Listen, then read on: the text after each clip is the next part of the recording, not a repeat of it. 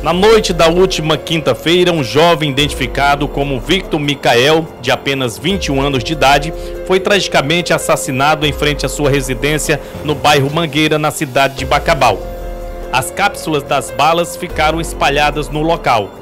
Micael já teria sofrido uma tentativa de homicídio no mesmo local, dia 29 de julho, menos de um mês atrás. Foi exatamente aqui nesta rua, a rua Berlinda Araújo, do bairro Mangueira, onde aconteceu os disparos contra o Micael. De acordo com relatos de testemunhas, Micael estava na porta de sua casa, em companhia de alguns amigos, conversando, quando uma motocicleta com duas pessoas a bordo parou em frente à sua residência, sem qualquer aviso ou motivo aparente, os ocupantes da motocicleta efetuaram disparos contra o Micael. Os amigos deles correram e não foram atingidos. Já o Mikael foi atingido por cerca de cinco disparos.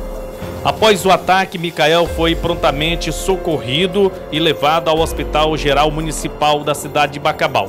Porém, lamentavelmente, os esforços dos profissionais de saúde não foram suficientes para salvá-lo. O jovem não resistiu aos ferimentos e foi a óbito pouco tempo depois de ter dado entrada na unidade hospitalar. Acredita-se que a motivação do crime possa estar ligada a conflitos pessoais ou alguma situação que ainda não foi revelada. A Polícia Civil já tomou conhecimento e vai seguir investigando o caso.